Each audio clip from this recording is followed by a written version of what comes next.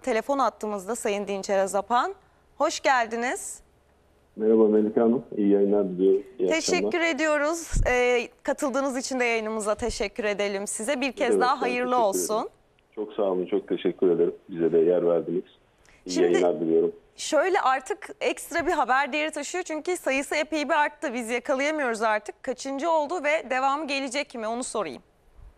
Evet yani çok fazla da e, sayı e, şey yapmak istemiyorum. E, lanse etmek istemiyorum. 10. oldu. Evet. e, 10. sponsorumuz bugün. Hatta Nefs tadında e, lansmanımız oldu. E, kadın baskete sponsor olduk bu sefer de. E, geçen hafta da e, erkek voleyboldu. Ondan önce kadın voleyboldu. Ben de biraz böyle karıştırıyorum bazen sizin dediğiniz gibi. O yüzden sonuçta e, şahsım ve şirketim olarak her zaman kulübümün yanındayım. Bugün lansmanda da söyledim. Sayın başkanlarıma da çok teşekkür ediyorum. Sizlere de çok teşekkür ediyorum destekleriniz için. Ee, inşallah 10, 11, 12 diye giderim. Benim tamamen e, kulübüme olan bağlılığım, hiçbir beklentim, hiçbir karşılığı olmayan bir sevgi bizimkisi. O yüzden e, çok şükür bu günleri de gördük. E, sponsorluklarımız da devam edecek inşallah. Taraftarlarımızın da desteğiyle e, yolumuza devam edeceğiz inşallah Melike Hanım. Şeyi merak ediyorum bir hedef koydunuz mu kendinize mesela bu sezon için e, bu sezonun sonunda kaç olacak ya da bir branş sırada var mı hedefinizde? Yok şöyle e, bir hedef koymadım ama 5, 6, 7 giderken inşallah dedim onu da görürüz dedim. Çünkü 10 e, bizim efsanemiz Metin Oktay ruhu olduğu için sırt numarası.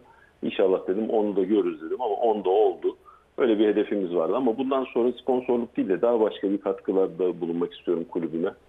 Sayın başkanlarımla görüşüp bir projelerim var. Onları da ilerleyen aylarda, ilerleyen haftalarda yavaş yavaş gündeme getireceğim. İpucu var mı? E, Nasıl projeler? Yani ipucu bu. Tesis midir? Nedir? Ya ona benzer bir şey. Şimdi söylemeyeyim. Bu sefer sosyal medyada şunu yapacak, bunu yapacak diye yazarlar. E biraz sürpriz olsun. Ben onu kendim olarak, şirketim olarak ufak ufak çalışmalarına başladık. Ama bir lansman veya bir sponsorluk değil. Artık birazcık e, lansman ve sponsorluklara durup biraz daha hızlı e, Galatasaray'ımıza nasıl hizmet ederiz? Ben onun artık e, projelerine başladım. İnşallah kulübüm de tabii onay verirse, başkanlarımız onay verirse böyle bir e, düşüncem var. Sadece e, taraftarlar için, kulübümüz için böyle bir etkinlik düzenlemeyi düşünüyorum açıkçası. Peki çok teşekkür ediyoruz tekrar. Hayırlı uğurlu olsun ederim. diyelim. İyi geceler. Sağ olun, iyi geceler. Çok teşekkürler. İyi yayınlar. Evet şimdi bir dönem e, amatör branşların isimleri kalmamıştı. Sponsorları yoktu. Şimdi yine yatırımlar yapılmaya başlandı kulüplerde. Bu önemli. Önemli ama burada bir ayrım yapalım. Ee, Dinçer ve Tunç Holding'le birçok e, branş ben bir Galatasaraylı olarak hep Fenerbahçe'yi takdir etmiştir şu anlamda. Fenerbahçe voleybolda, basketbolda ne zaman böyle isim sponsorlukları yapsa basketbolda tabii bir birleşme oldu e, Ülker'le ondan sonra ama voleybolda da yine e, kadın voleybol takımı Avrupa şampiyon oldu sonucunda.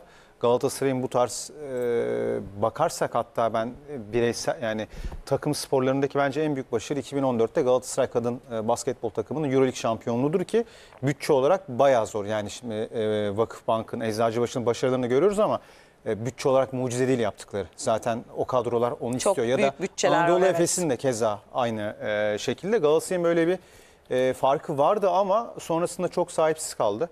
Dinçer Bey de kendi adıma bir Galatasaraylı olarak e, hem teşekkür ederim, tebrik ediyorum. Bu tarz branşların desteklenmesi gerek. E, Melike açık söyleyeyim ben e, hani Galatasaraylılığımı kimseyle yarıştırmak değil mi? Benim için hep ölçüdür. Ben futbol takımından sonra açık söyleyeyim ilk erkek basketbol takımını atmış ona bakarım.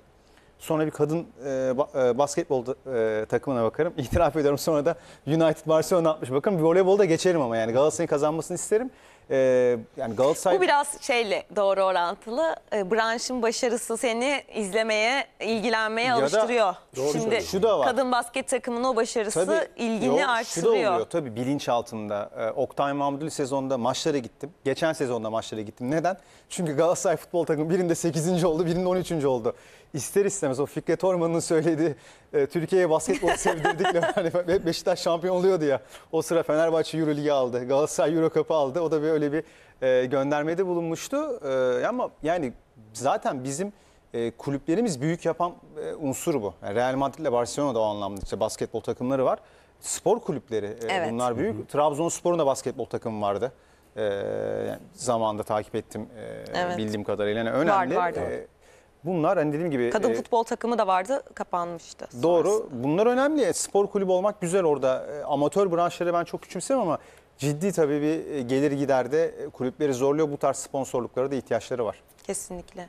Amatör diyoruz. Aslında yanlış bir adlandırma. Aslında evet, Eskiden çok kalan bir e, adlandırma çünkü. Artık hiçbiri amatör değil. Asla Çok değil. ciddi bir profesyonellik seviyesinde. Özellikle kontratlar açısından söylüyorum. Senin söylediğin branşlarda işte erkek basketbol, kadın basketbol, voleybollar e, birçok noktada o amatörlükten çok uzaklaştık. Bu bağlamda futbol harici diye adlandırayım. Futbol harici yapılan tüm sponsorluklara ben de gönülden destek veriyorum ve hangi kulüp olursa olsun ben Fenerbahçeliyim ama Galatasaray'a, Beşiktaş'a. Trabzonspor'a bu branşlara yapılan yatırımlar bir de markaya çok fazla geri dönüşü olan yatırımlar da değil.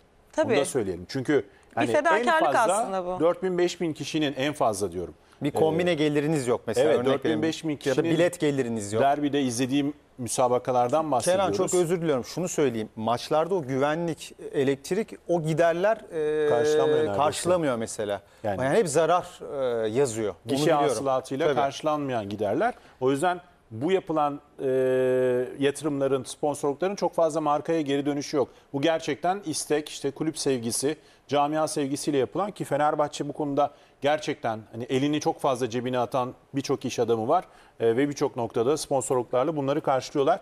O yüzden kime yapılırsa yapılsın Türk sporunun gelişme açısından önemli diye düşünüyorum. Ama futbol meselesini işte ilerleyen dakikalarda belki tartışırız. Futbol meselesini biraz daha farklı değerlendiriyorum. Merak Sponsorluk ettim. konusunda. Merak ettim. onu Basketbol konuşalım. demişken de en imrendiğim e, basketbol şampiyonu da Beşiktaş'ın şampiyonluğudur. 40 sene sonra Sinan Erdem'de, Ergin Hoca'da. Güzel, güzel şampiyonluk. Çok Evet. o e, Hawkins'ler, Arayo'lar, Beşiktaş'ın o şampiyonluğu. Bir de her takımı deplasmanda yenerek sağ avantajı yokken elde etmesi. Yani o da hiçbir zaman unutmam kolay kolay. Peki bir kez daha hayırlı olsun diyelim ve izleyicilerimizin sorularıyla devam edeceğim. Sizi bulmuşken sorular yağmur gibi yağıyor şu an son sayfa etiketine. Hüseyin Uğur yazmış. Galatasaray yerli kuralı ve mevcut yerlilerin kanatlarda verimsiz olması nedeniyle üçlü dinamik orta saha çift santfor ve santfor arkası uygun oyuncuyla oynamalı. Santforlar aynı tip olduğu için Gomis Kerem ikilisi uygun olur demiş. Bir başka izleyicimizden e, de şöyle bir mesaj gelmiş. İlginçtir onun da adı Hüseyin. Hüseyin Eyice. Artık çift forvet oynamalı mıyız? Icardi Gomis yazmış. Bu iki soruyla size döneyim. Ben istihbarat paylaşayım. Çift varet oynamayacak Galatasaray. Kenan atayım. İlk soru 4-4-2 sanırım. Merkez orta sahasında Üçlü orta baklavaya saha. 4-3-1-2. Evet, demeye biraz çalışıyor öyle. ama Forvet arkası. forvet arkasıyla birlikte baklava şeklinde alan bir orta sahadan Evet. herhalde bahsetmiş. Ee, yani oynamayacak istihbaratı üzerine pek bir şey söylemek gerekmiyor ama öyle şampiyon oldu. Onu da Okan Hoca hatırlatayım. evet. Yani Crivelli, Dembaba özellikle en fazla oynayan oyuncular olduğu için birbiriyle de Crivelli'ye yani şimdi şu- şu çok garip geliyor bana. Crivelli'ye, Vedat Muriç'e, e, birçok forvete çok iyi gol atma rakamları yakalattı Okan Buruk. Crivelli hayatında görmediği rakamları Türkiye'de Çift tane. Okan Buruk da gördü.